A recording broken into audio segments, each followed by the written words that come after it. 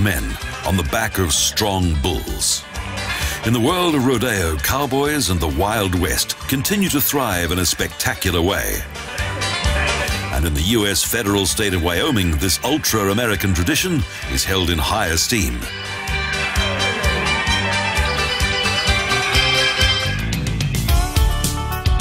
The area on the edge of the Absaroka Range is known as Buffalo Bill Land, due to the man who became immortalized as the most famous buffalo hunter of all time, and a legendary personality of the Wild West.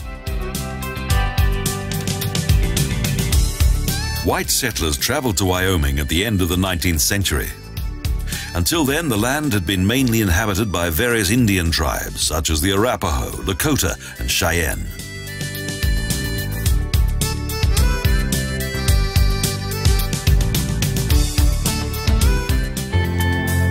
The small town of Cody has 8,000 inhabitants.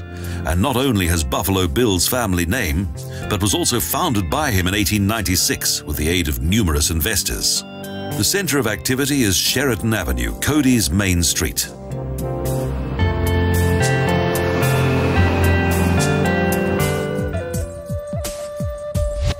As founder of the town, William Frederick Cody is highly honored here as highlighted by an equestrian statue of this colorful character.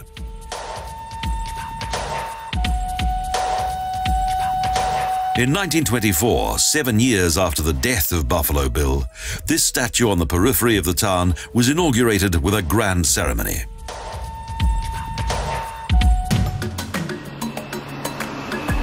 The Irma Hotel was founded during the lifetime of Buffalo Bill and dates back to 1902.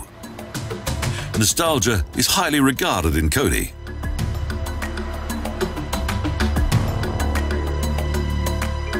Whether huge historic rifles on the roofs of restaurants or various shop displays, here, the Wild West is still very much alive.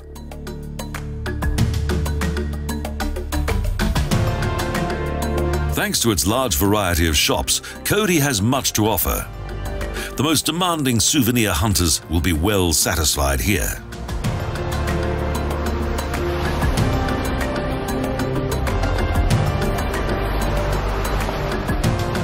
Wyoming continues the age-old traditions of cowboy attire and the wearing of guns as part of everyday life.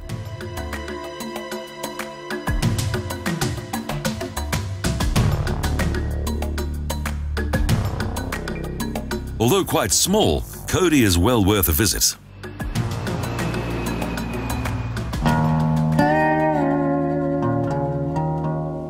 Around two kilometers from Cody is another attraction, Old Trail Town.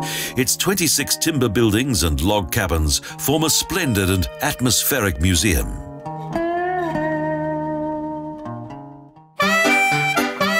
The Rivers Saloon, the oldest saloon in Wyoming, was originally located at Wood River, west of Meeteetse.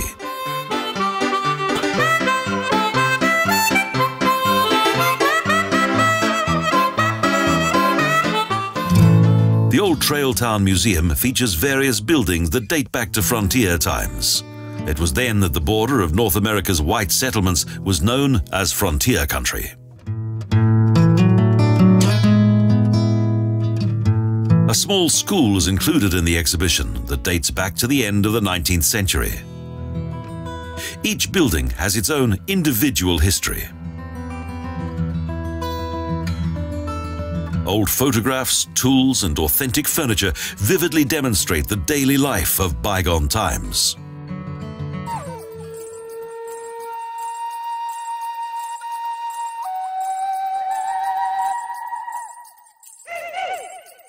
One of the most interesting buildings in Old Trail Town is Curly's Cabin.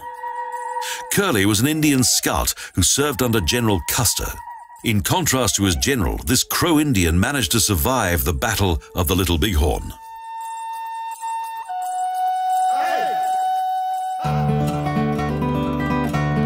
In addition to its fascinating buildings, the museum also features a fine collection of old covered wagons.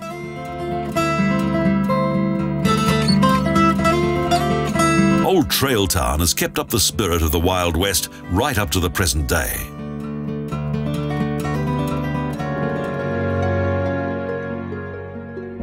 Wyoming not only contains historic sites, but also some wonderful scenery. Cody is an ideal starting point to various national parks.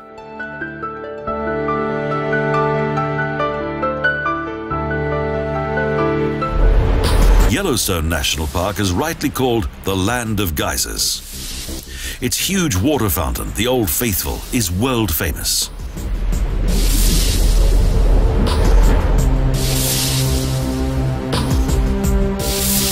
No other landscape in the USA provides such a marvelous insight into the geological activity beneath the Earth's surface.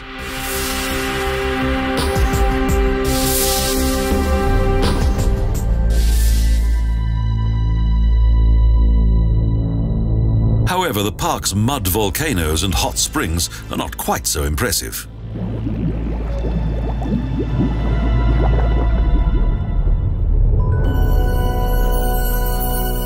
But there's a good helping of drama offered by the lower and upper falls of Yellowstone River that plunge down thunderously into the depths below.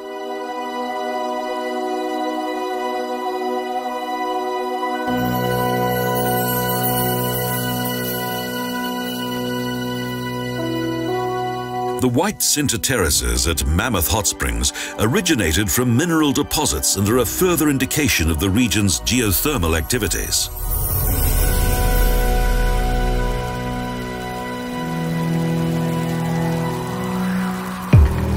The foundation of the USA's first national park in 1872 was an important initial step for nature conservation.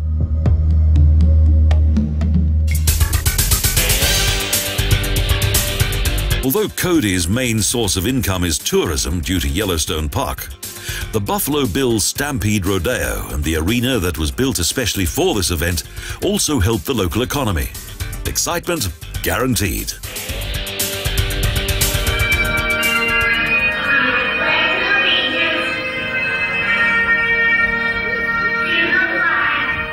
Each evening from the beginning of June until the end of August, rodeo performances take place in Cody's Stampede Park. The spectacle always begins in the same way, with much patriotism and the stars and stripes.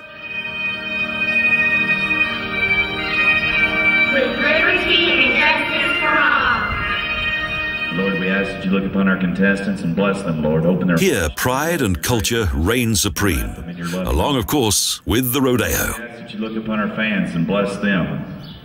Send our prayers with them as they go about their travels or to their homes and know that.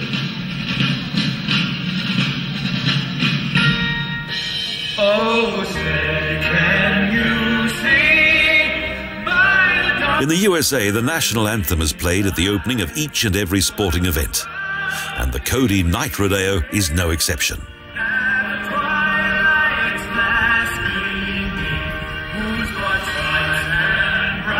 In the world capital of rodeo, as the inhabitants of Cody call their town, this sport is extremely important.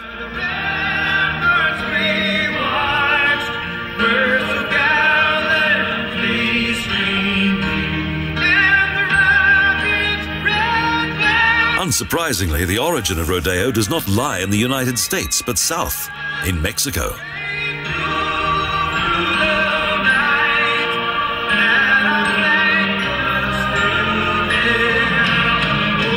Charreada was to be seen in many Spanish colonies that also included the southwest of what is now the USA.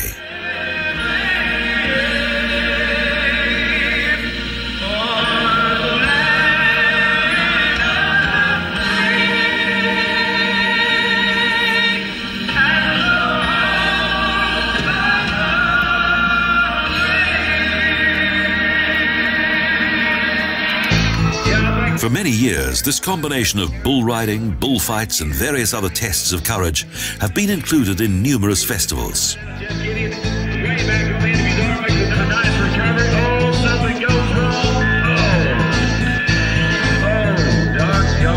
Today, rodeos are mainly held in the western part of the United States and are a popular and professionally marketed sport.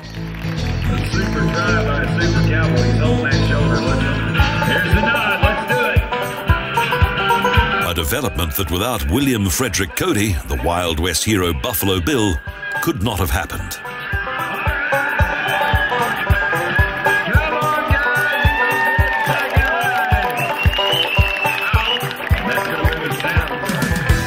Despite the festive character of the American rodeos, the contest between man and beast is extremely dangerous and often leads to injury.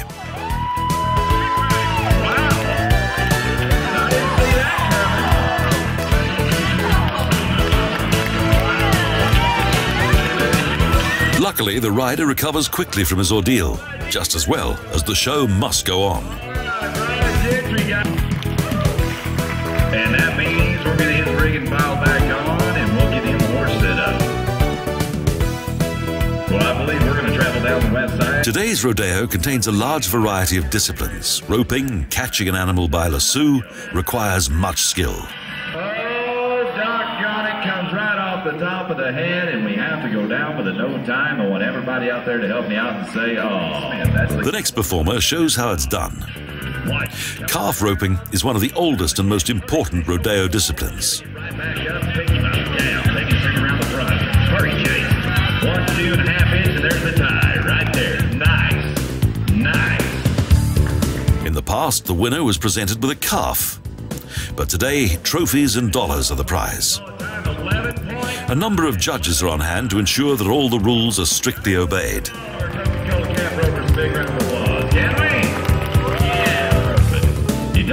The many official disciplines of rodeo were originally developed on the ranches that were to be found in the southwest of the USA.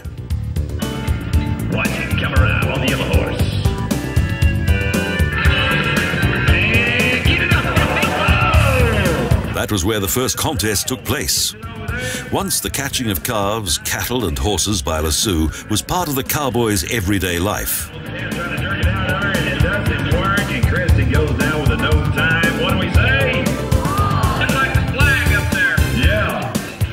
Classic discipline in rodeo contests is bronco riding. The semi wild broncos are always a major challenge for the riders.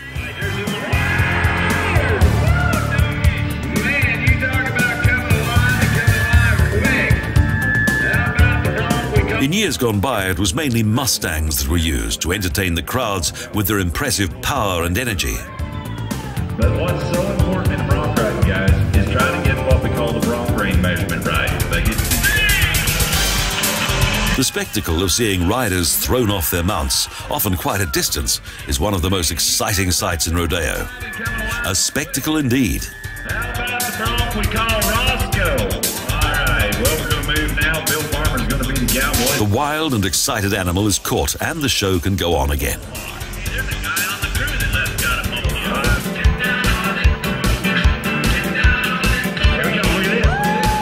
This rider appears to be exceptional, or perhaps his horse is not quite so strong. However, he manages to keep the angry bronco under control.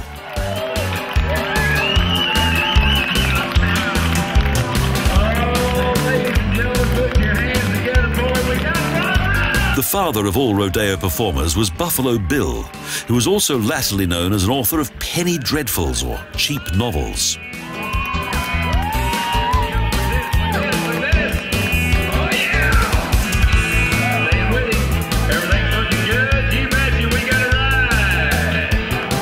Ned Buntline heard of the then bedraggled scout and buffalo hunter, and in him saw the potential for a great story.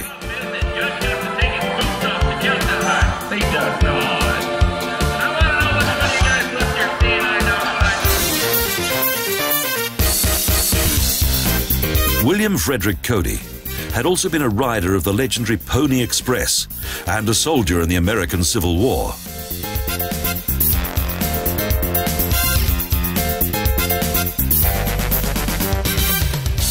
Cody was given his name of Buffalo Bill at the time when he supplied the workers of the Kansas Pacific Railroad with buffalo meat.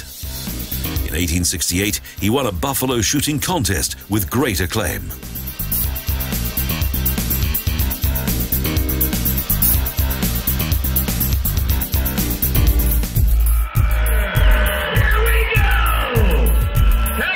Today, rodeos are not the sole domain of grown men. Youngsters of both sexes also compete.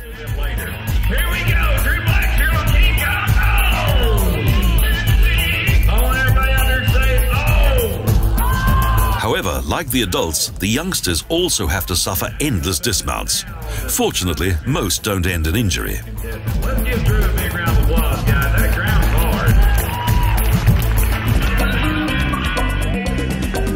Rodeos are festivals enjoyed by each member of the family.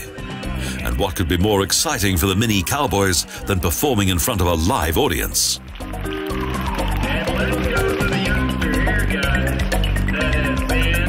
This young rider looks very self assured. The onlookers are enthusiastic, but there's no time for celebrating as the next contest is about to start.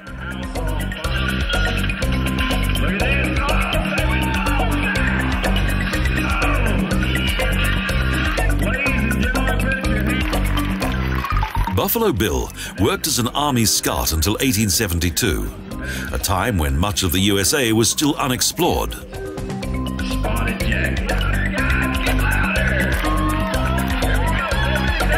As a writer, Cody was made famous by Ned Buntlines.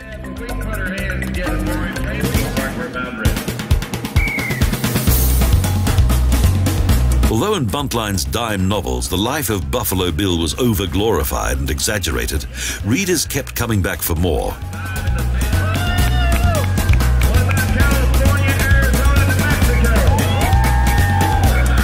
The success gave Buntline the idea to write a play about the life of Buffalo Bill, with Cody as the leading man.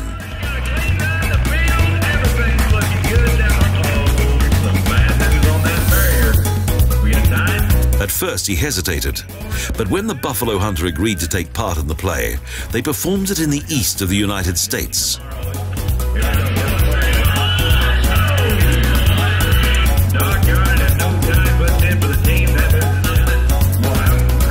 Featuring his adventures in the Wild West, the play became a blockbuster, and Buffalo Bill soon grew accustomed to his new lifestyle.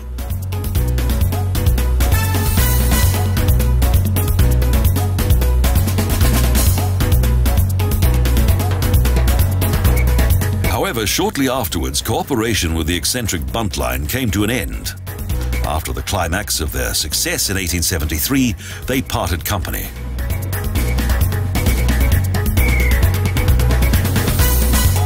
Aware of his growing popularity, Buffalo Bill decided to travel to Europe.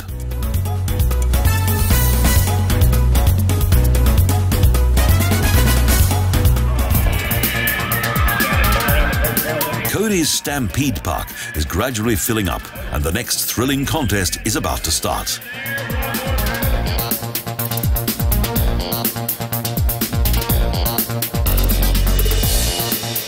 Race through a course flanked with empty barrels is one of the most recent disciplines of rodeo and also requires much skill.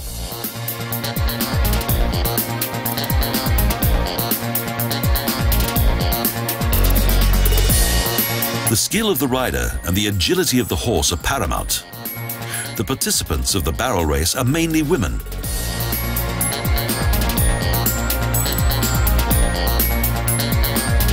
This is the only official rodeo discipline for women in the USA.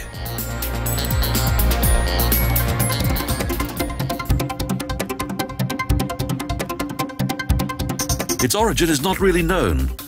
Most likely stemmed from female ranchers who wanted to show their skills during their leisure time.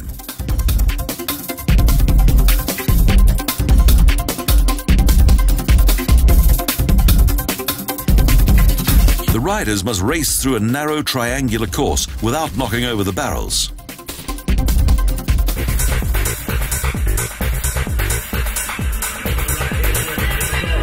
It's quite a challenge that stretches the rider to the limit. Fortunately, this time, it's a safe landing.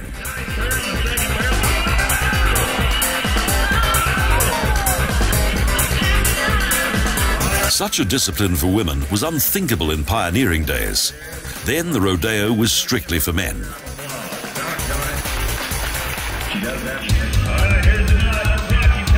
The highlight of Cody's rodeo night is bull riding, a test of courage for the very brave.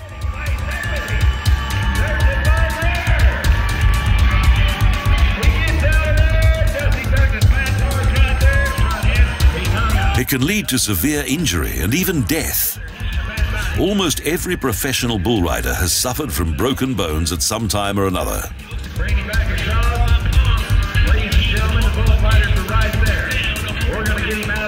Oh dear, one of the performers does indeed appear to have been injured and is being carried out of the arena on a stretcher. We're really going to need you guys to get behind our bull rider.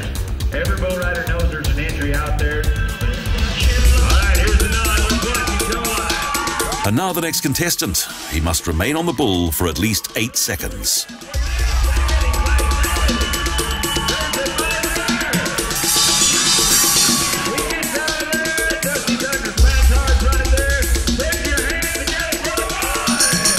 Well as certain riders, also a number of particularly powerful bulls have become famous during their career, such as Bodacious the Bull, who was known far and wide.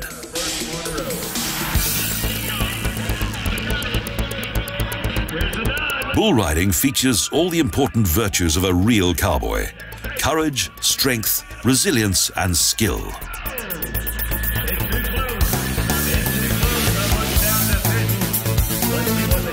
Last but not least, Buffalo Bill was responsible for this idealized and romantic picture of the cowboy and the Wild West that still captures the imagination today.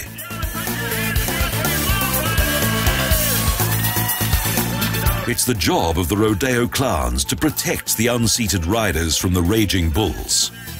This is also highly dangerous.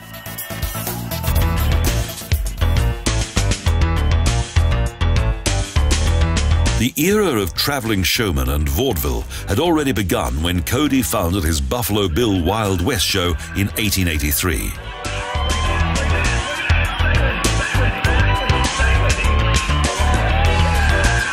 In his show, he united elements of the circus with vaudeville.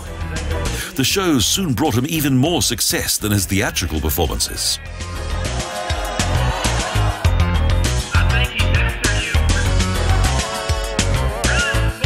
The main theme of the various acts always featured the drama of the Wild West.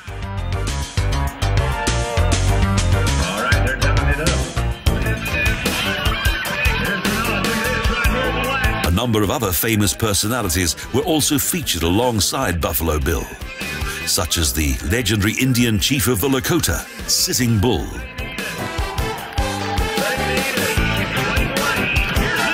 Particularly popular were the colorful performances of stagecoach holdups and savage attacks by native Indians.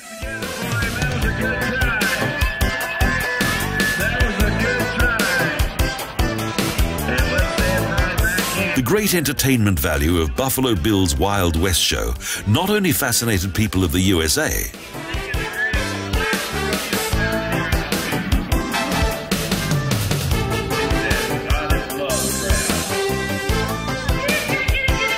In 1887, he brought his show to Europe.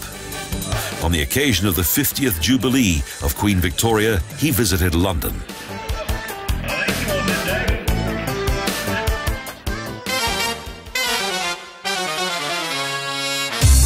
Two years later, this was followed by a tour to various other European cities.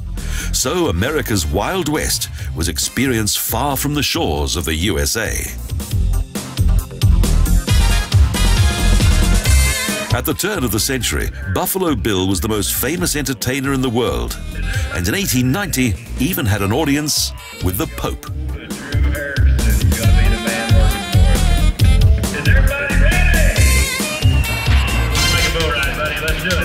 Despite their success, today's rodeos cannot be compared with the former Wild West shows staged by Buffalo Bill.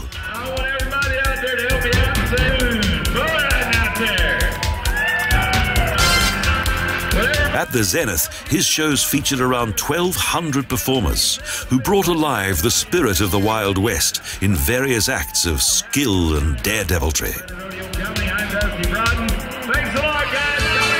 Today's rodeo keeps up the old traditions of the USA's pioneering times in spectacular fashion and entertains onlookers with the thrill of various events and the atmosphere of times long gone. The legendary Wild West, the rodeos of Cody, Buffalo Bill's hometown. Now spotlight an historic past and an always thrilling present.